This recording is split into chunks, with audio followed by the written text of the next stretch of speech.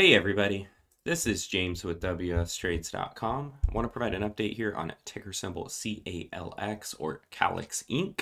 Um, on the 15 minute time frame, you can see this thing was making big rips, um, but once it got up around this 80 level or 81 level, it really started to face some uh, resistance here and some consolidation.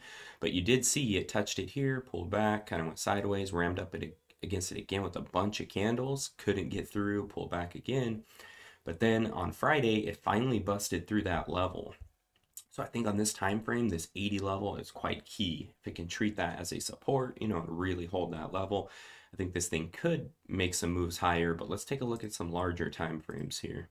So on the one hour, yeah, this one is actually looking pretty good on the one hour. Um, as it made this move above 62 here, um, it's treating this 21 day EMA as a nice dynamic support level.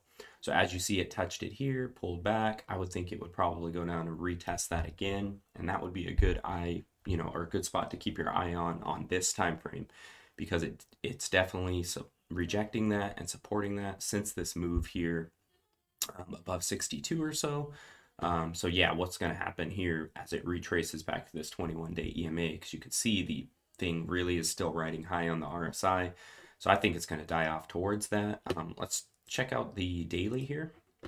Um, yeah, daily's pretty crazy movement here. Um, you can see this thing was in a really good uptrend, making some really nice moves.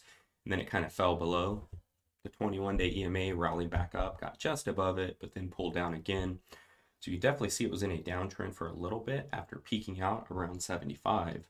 But then right here, as this thing busted again, above the 21 day EMA and then had this huge bull candle. Um, that's where the bulls took back over on this thing.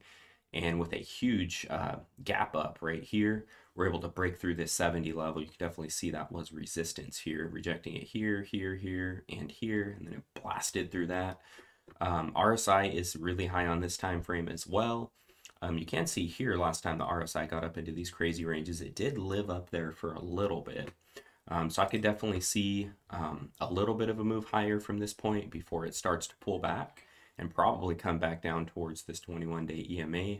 Um, so I would think in the short term here on this daily time frame, we could see a little bit of a move higher, but pretty soon here this thing has got to come back to reality and it's probably going to come back down to test this 21 day EMA. So that would be an area I would keep my eye on uh, once you know we start to see some actual selling here and start to see this thing kind of cool off.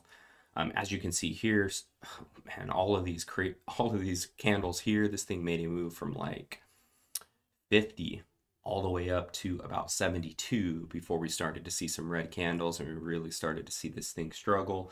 Um, so yeah, this thing could live up here um, in this price range for a little longer, quite a you know quite a while longer. You can see several days here. Um, 1, 2, 3, 4, 5, 6, 7, 8, 9, 10, 11 before it really started to die off here. Um, so that's kind of what I'm seeing for this stock in the near term.